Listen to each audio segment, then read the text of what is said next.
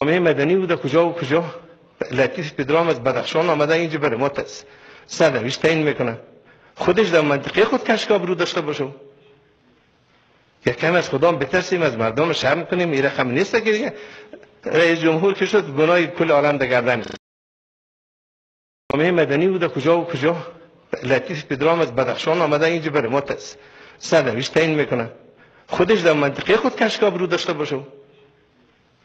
یک کم از خدا بترسیم از مردم شرم کنیم این رقم نیست که دیگه. رئیس جمهور که شد گناه کل عالم در